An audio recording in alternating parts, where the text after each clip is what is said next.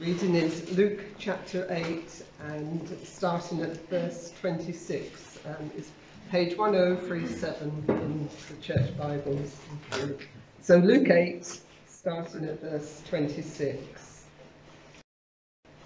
They sailed to the region of the Gerasenes, which is across the lake from Galilee. When Jesus stopped, stepped ashore, he was met by a demon possessed man from the town. For a long time, this man had not worn clothes or lived in a house, but had lived in the tombs. When he saw Jesus, he cried out and fell at his feet, shouting at the top of his voice, What do you want with me, Jesus, Son of the Most High God? I beg you, don't torture me. For Jesus had commanded the impure spirit to come out of the man. Many times it had seized him, and though he was chained hand and foot and kept under guard, he had broken his chains and had been driven by the demon into solitary places. Jesus asked him, What is your name? Legion, he replied, because many demons had gone into him. And they begged Jesus repeatedly not to order them to go into the abyss. A large herd of pigs were feeding there on the hillside. The demons begged Jesus to let them go into the pigs, and he gave them permission. When the demons came out of the man, they went into the pigs, and the herd rushed down the steep bank into the lake and was drowned. When those tending the pigs saw what happened, they ran off and reported this in the town and the countryside, and the people went out to see what happened. When they came to Jesus, they found the man with whom the demons had gone out sitting at Jesus' feet, dressed and in his right mind, and they were afraid. Those who had seen it told the people how the demon-possessed man had been cured. Then all the people of the region of the Gerasenes asked Jesus to leave them because they were overcome with fear. So he got up into the boat and left. The man from whom the demons had gone out begged to go with him, but Jesus sent him away, saying, Return home and tell how much God has done for you. So the man went and told all the town how much Jesus had done for him. And The title of this morning's sermon is Of Sound Mind. Now, we hear a, a, a lot today of, of, mental illness and the struggles that people have faced through the pandemic. Um, it does not surprise us that being locked away from one another and uh, being unable to do things socially with friends and family is going to have an effect on us as it's going to change the, the way that we deal uh, and we have seen that haven't we? The way that people deal with crowds. Folk aren't quite so keen to be back in crowds these days. And that's not just to do with the fact that we're still nervous of covid going around but we've not been used to that kind of thing. And it takes us a little bit of getting over doesn't it now, we welcome anything, don't we, that helps people um, to get the help that they need, uh, that they need to receive to, to be, get beyond that. We, however, must not forget that our needs are not always what we might think. Sometimes uh, those mental struggles point to bigger spiritual issues. And in our day, they often go undealt with because it's not the thing to do to speak about things in a spiritual uh, dimension. And certainly it is unwise or, or very frowned upon to think about the surgeon of souls, the Lord Jesus Christ himself. He really doesn't get much press when it comes to some of the struggles that people have. The doctor that we truly need is not allowed to even comment. Well, in today's passage, it's clear that all the help that was available for this man was not enough. He was a broken man. He was broken in many ways, and we'll look at that in just a moment. A man who had exhausted all human help and was still in a mess. Uh, what was he to do? So let's have a think about that man, that broken man that comes in verses 26 to 31. And there are, in reality, uh, of course, uh, varying degrees of brokenness in people's lives, aren't there? Some brokenness comes about through past trauma. Something has happened in someone's past and it really uh, swamps the whole of their life. They can't get beyond it Um, and everything that they do is referred back to that one event that took place in their life and, and really bothers them and uh, stops them moving forward. Uh, some uh, really struggle or have degrees of brokenness through family instability. Uh, you know, we discover that um, it's really not popular, isn't it? One man, one woman together for life. That's not really the way of doing things in this day, yet nobody will speak about the brokenness that comes from that. Um, as, you know, if uh, at least uh, when people do get married, they're often getting divorced within a very short space of time, and the, trauma that that uh, brings about in, in youngsters' lives because of that split up, and, and varying other degrees of inst- family instability are there. Some others, through poor education, um, they have not been taught what they need to be taught, and so struggle in life uh, from that uh, way onwards. And then there are those that um, really bring about self inflicted brokenness, don't they? They get involved in all kinds of things that, uh, uh, that bring their life to a point in which they struggle to move forward or they're locked into something. Well, none of all of this takes God by surprise. He's not surprised by any of this. He, he understands and knows what's going on in this world. And he has already made an assessment of this world even the best of humanity is included in this assessment. But it's not a popular assessment. Uh, this is what God says as he looks around this world. Romans chapter 3, um, and he's quoting some Old Testament uh, verses, but this is what it says Romans 3 10 to 18. As it is written, there is no one righteous, not even one. Uh, there is no one who understands. There is no one who seeks God. All have turned away. They have together become worthless. There is no one who does good, not even one. Their throats are open graves, their tongues practice deceit. The poison of vipers is on their lips, their mouths are full of cursing and bitterness.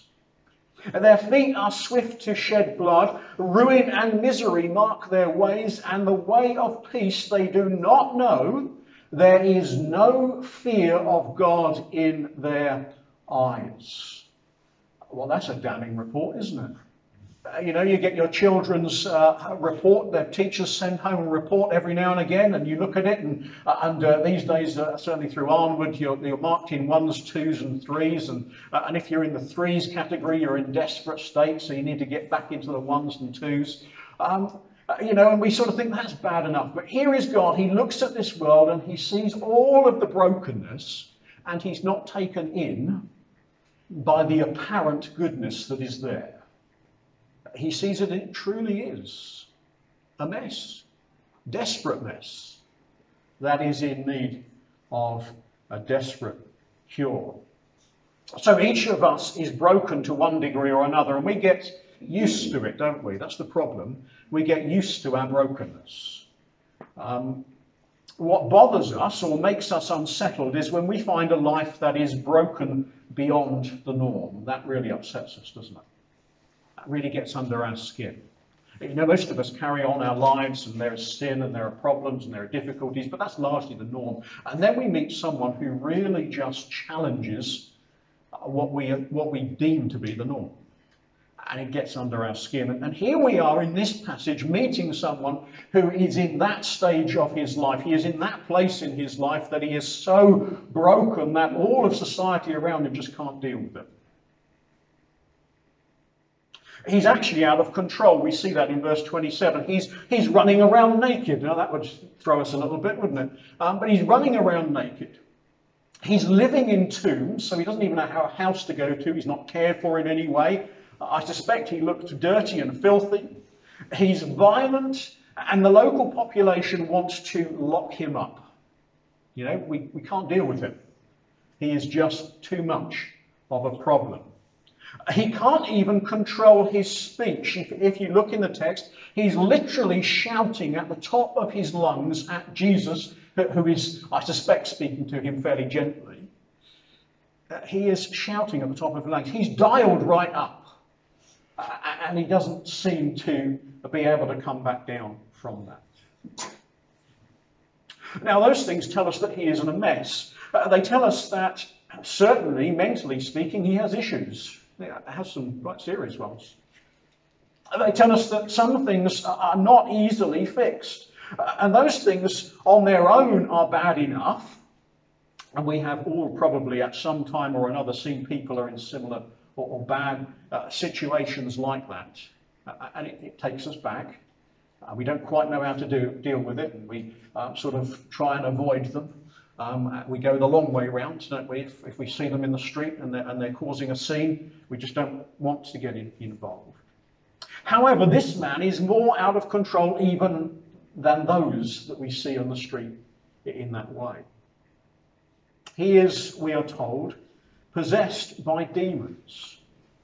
Well, in our 21st century thinking, uh, we automatically like to, at this point, say that back then, in Jesus' day, you know, they simply just didn't understand mental illness.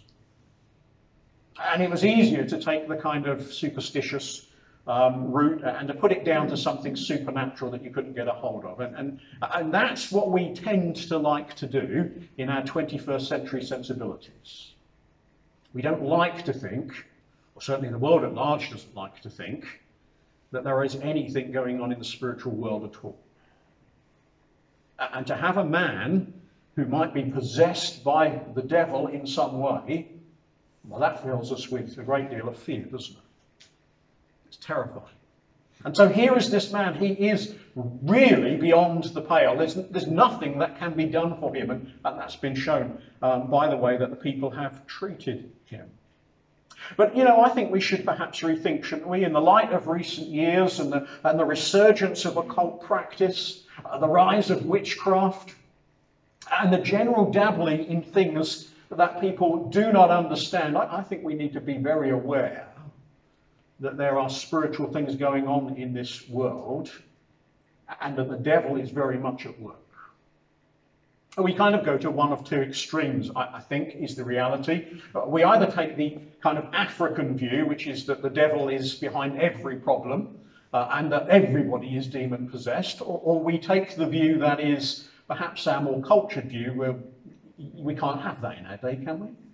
You know, we're far, far too sanitized for that kind of a, of a life. And, but I think we need to wake up to the fact that there are spiritual realities, that there are people who, while they have been so involved in things that they shouldn't have been, that the devil has taken control. That he or his minions are there doing their work. We understand how drugs get hold of people's lives, don't we? Uh, and it saddens us, doesn't it, when we see someone who is addicted to drugs.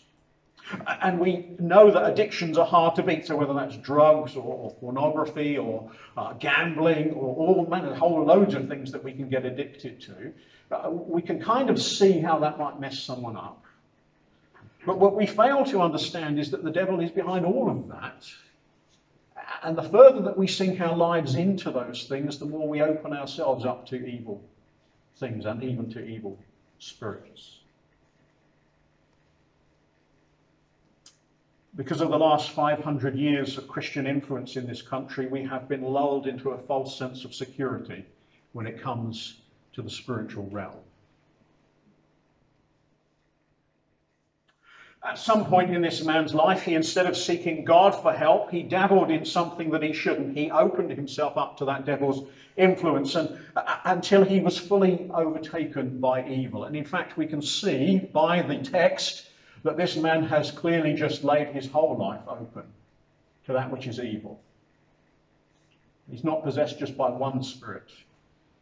Uh, the number is not given to us. We're told it's a legion. Well, I'm told that a legion could be anywhere between 3,000 and 6,000. Now, I don't think necessarily that that's telling us that he had 3,000 to 6,000 demons. I think that's just telling us that there was a large number.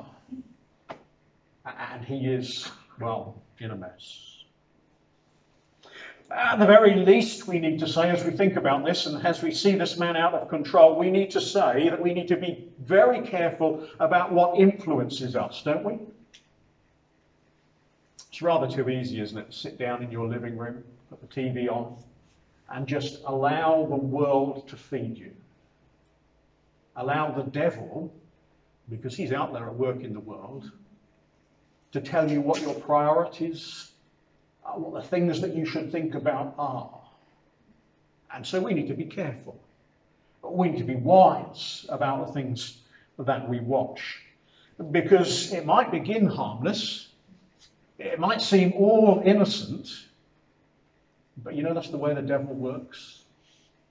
Very rarely will the devil ever come to you and give you something which, you, which he knows that you cannot stand or that you know is evil. He will come to you with something nice. Well, that doesn't matter. I, you know, it's harmless if I watch this. It's, it doesn't contain anything that bad. And, and the problem is, once that barrier has been broken, well, it's not long before you're on to the next one. And before you know it, you're watching and taking in things and you're becoming part of a world and a life which is anything but honouring to Christ. He's also isolated, verses 27 through to 20 and verse 29. And not only is he out of control, um, but he is also isolated. That is both a mixture of his community pushing him out, but also of the recognition that he doesn't fit. Uh, you know, we isolate ourselves when we discover that no one is quite like us. We stay away. But also, there is that sense in which the community can't deal with him, so he's being pushed out. And isolation is a bad thing in many contexts. But most particularly, it's bad if you have problems. It, it, if you have problems and you isolate yourself, uh, then what happens is those problems get worse. And you get in, go in a downward spiral, don't you? You become depressed despondent. Uh, it saps your will to resist, and eventually the whole problems crush you. And in this man's case, he probably sought seclusion because of the many noises in his head, the many voices that he's hearing. We also discover that he's bound in verse 29. Now we can see that this man is physically restrained. He has literal chains, but also there were the internal chains. This man could not do what he wanted to do.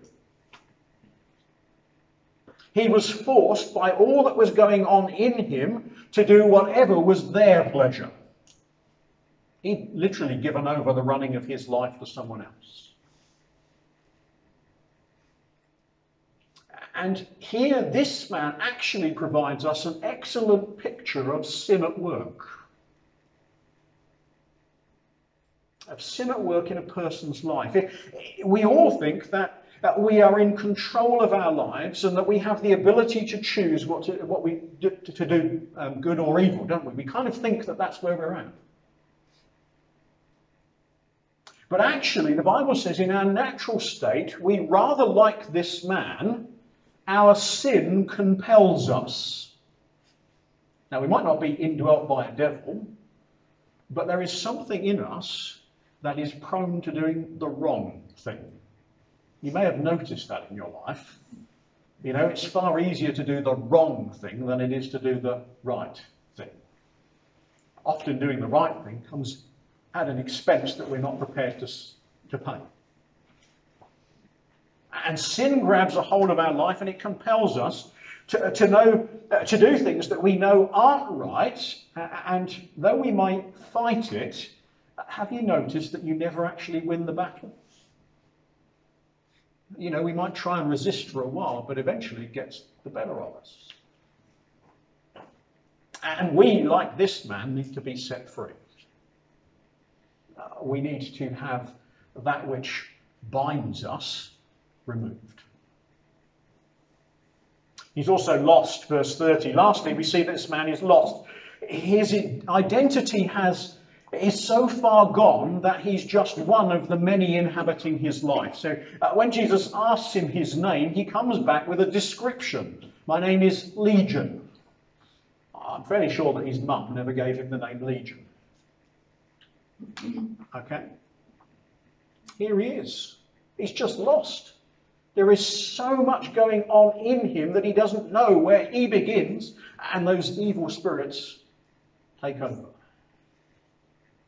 He's just caught up in the midst of it. Now, you might not be here this morning battling demons, but you might be just as lost as he was.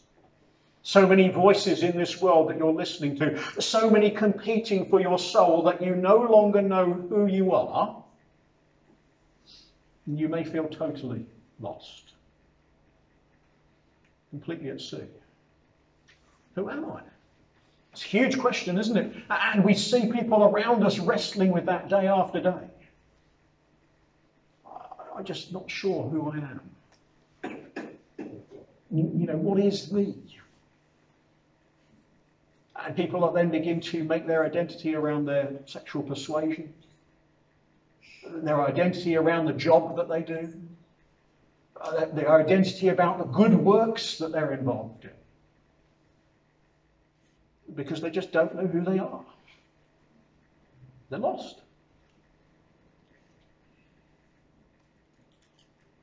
Well, this is where the next man comes in. Uh, so we've had a, a man who is um, uh, in, in, a mess, a broken man, but there is also a unique man in the story, isn't there? In the in the uh, in the account that's given to us. I was careful when I say story. Um, this isn't a story. This is an account of what Jesus has done.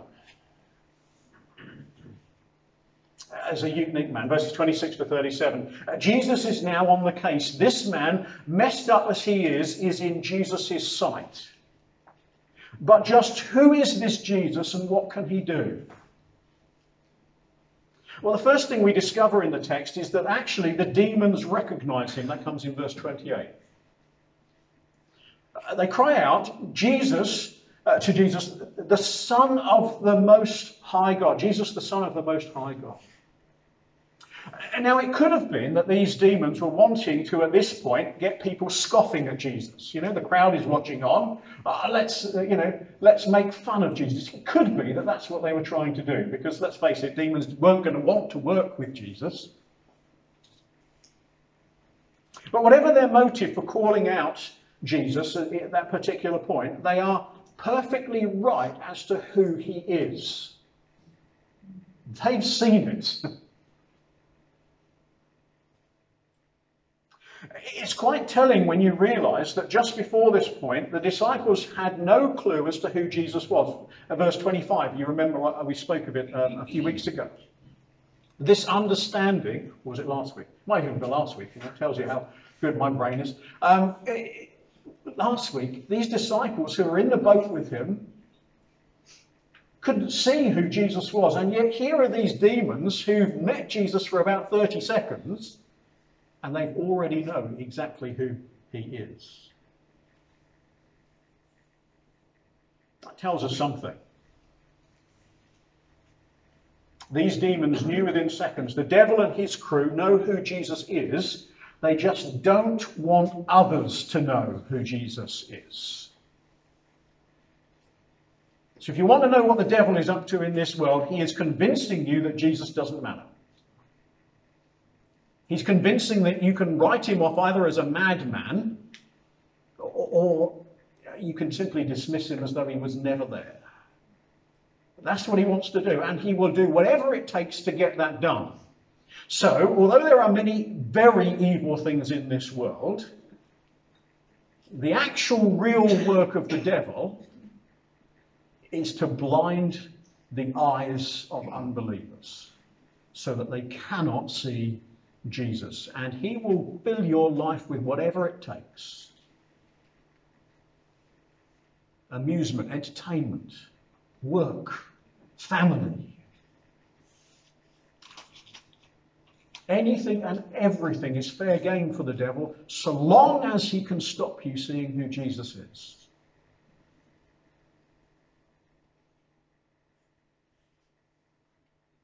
When you know who Jesus is, the game is up. Uh, the devil loses his control. Uh, and the demons not only see, recognize him, but they also obey him, we discover in verses 31 to 33. Uh, we are here seeing uh, what normally takes place in the spirit realm. These demons know Jesus, they are trembling before him. Now, you would think sometimes, the way that Christians speak, that the devil is as powerful as God. And nothing could be further from the truth. The devil cowers before Jesus.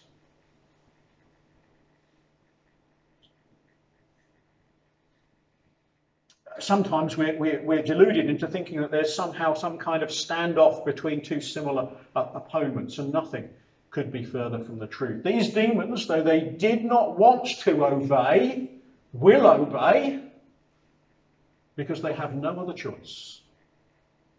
King of Kings stands before them and he's telling them what they should do.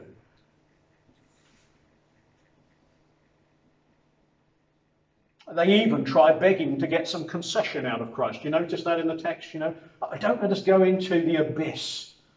Uh, let us go into the pigs. It's a far better option. Now, these de- demons, even before Jesus goes to the cross, know that they are a defeated enemy. They know that their time is limited. They know that the end is in sight. In fact, if you go to Jude chapter 6, uh, verse 6, I was there aren't any chapters in Jude, only the one.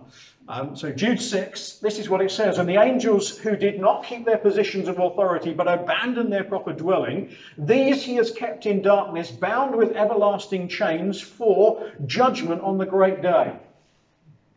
So there is a sense in which there are some already chained up. There are some that are free roaming this world.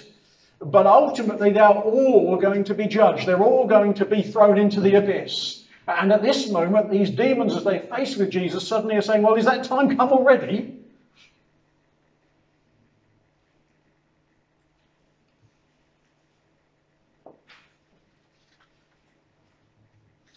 What they are scared of is that judgment time has come. The fact that demons are afraid of Christ should teach us to do all that we can to, be, uh, to avoid being sucked into their world. Uh, and their world is the world of lies and deceit.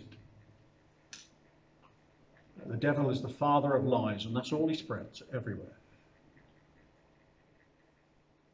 If we will not heed Christ, we will share their end.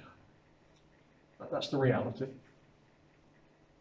And now we all like to think that demons will get their just deserts. There's none of us here that think demons are great. And we're all happy to accept that they will one day be punished eternally. But here is the thing if you side with them, them in this life, you will meet their end. You will face their judgment. Uh, Jude carries on. See, the Lord is coming with thousands upon thousands of his holy ones to judge everyone and to convict them all of all the ungodly acts that have been committed in their ungodliness and of all the defiant words ungodly sinners have spoken against him. You're either on one side or the other today. You either are trusting Christ for your salvation, for the forgiveness of your sin, or you are sat in the camp of the devil. There's no middle ground. Uh, there's no fence to sit on. It's one or the other. We also see he has the power to transform. That comes in verses 35 to 36. This man, whose life was such a mess, who was controlled by demons, uh, whom the town had rejected, is brought face to face with Jesus Christ. And Jesus simply commands the demons out and fully restores this man's life. It takes a word.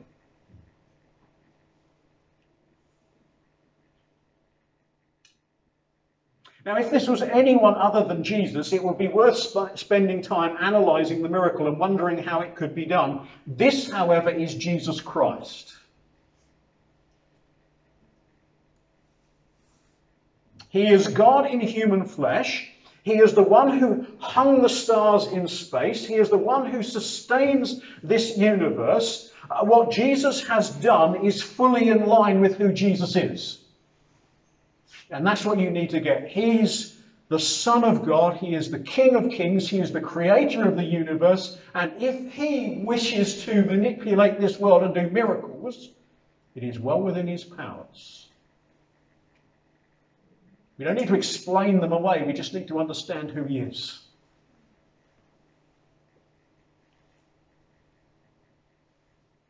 as Jesus is in the area that would have been predominantly Gentile, uh, the pandemonium about the pigs simply added to the publicity of what Jesus is doing. People have tried to find all sorts of meanings in the pigs and why the pigs, why the demons wanted to go into the pigs.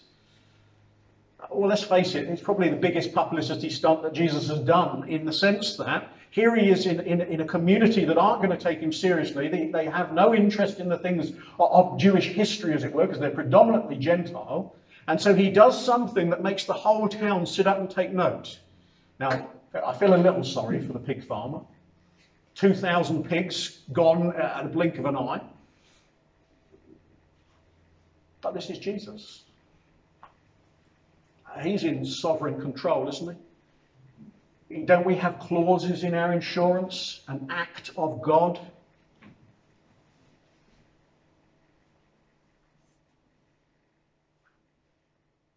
The man is in his right mind.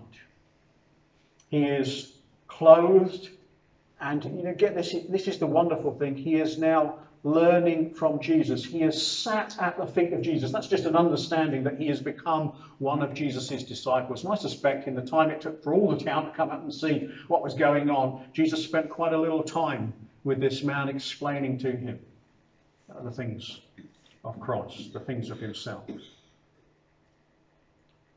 This is a truly magnificent, miraculous event. And before you write this off and think, well, that's wonderful, what, but what about my messed up life? Jesus came into this world not simply to do miraculous healing. In fact, all his healing simply confirmed who he was and highlighted the message that he was sharing. He came to bring lost, bound, lonely, and those without control to be saved and added into his family. So that's every one of us, isn't it? This morning, every one of us can be saved by the Lord Jesus Christ. If you haven't given your life to him, now's the time to do it. Don't wait. If you recognize that there's sin in your life and it's a problem, confess your sin to the Lord Jesus Christ and ask him to forgive you. He will make you right. And as we meet him here, he's on his journey to the cross. He will go to the cross as the sacrifice for sin to make atonement for us. And on that cross, he will give his life in your pay, place to pay your sin penalty. Having paid it, he would be raised to life.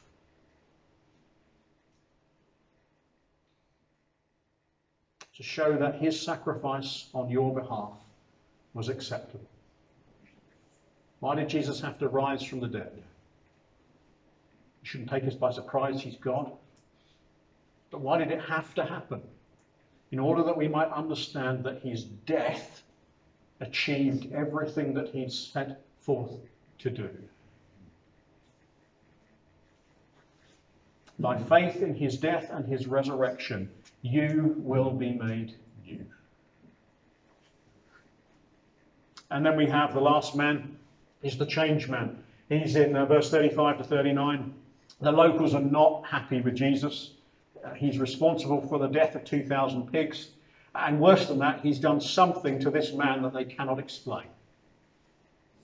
You know, they've been dealing with this man for years and not been able to get him under control. This one man shows up and everything is altered.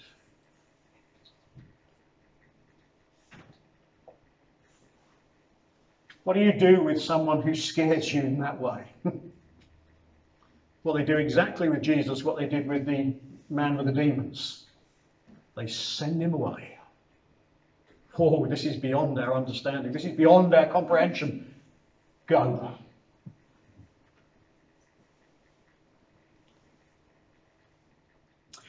And our friend here in the passage simply wants to go with Jesus. Uh, you know, that's quite a normal desire, isn't it? Jesus comes into your life, he changes and transforms you. want to go with Jesus.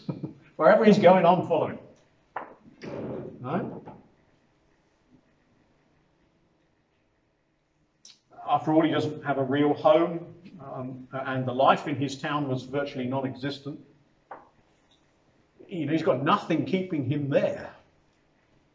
And the thought of going with Jesus is very appealing, isn't it? But Jesus will have none of it. The difficulty that we, we have with the Bible account is that it never gives us the detail we feel that we would like. While he's sitting at the feet of Jesus, what did he teach him? That's what we want to know, don't we? You know, while he was there, uh, in order for this man to be effective in, in telling others about Jesus, what did he learn sat at his feet? Well, the Bible doesn't tell us. Uh, what it wants us to do is to draw the, the conclusion that the moment that you meet with Jesus, that he begins to teach you things that you can tell others. And I'm going to guess he didn't have so long, he didn't have all the ins and outs of the gospel that we know, largely because a lot of it hadn't actually happened at that point. But what he did know is that he could trust Christ and that Christ had changed everything.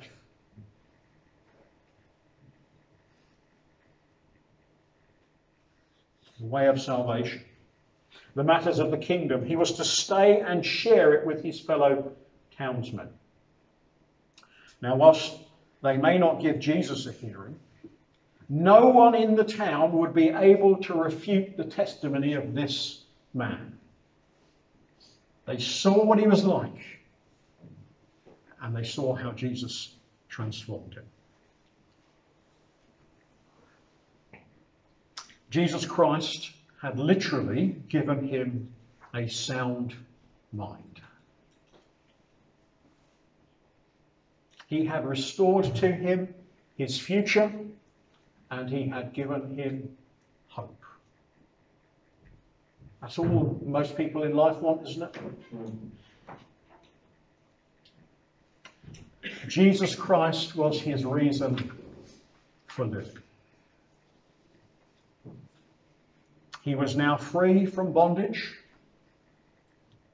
He was lost, but now he'd been found. He was out of control, but now he knew what self control looked like. And surely that's the testimony of every person that comes to saving faith in the Lord Jesus Christ, isn't it? So every one of us here this morning, if we know Christ, can tell others about the Christ that is declared in the Gospels.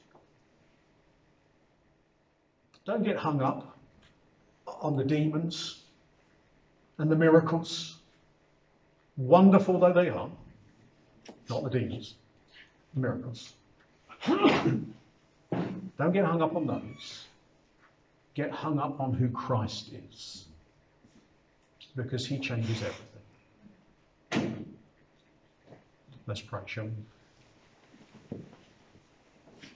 Our loving Heavenly Father, as we've been going through Luke, we've seen the way that when Jesus met people, he radically changed their lives. We pray, uh, Lord Jesus, that you would radically change ours. Uh, that we might live in this world and that we might show to this world, not ourselves, uh, not wonderful, miraculous things, but that we would show them Christ. And Lord, if you're pleased to do miraculous things in the midst of that, hallelujah. But Lord, help us to be centered entirely upon the Lord Jesus Christ, on who he is, on what he can do, on what he has done, and what he will do. Lord, fill us with a greater vision of our precious Saviour, we ask. For Jesus' sake. Amen.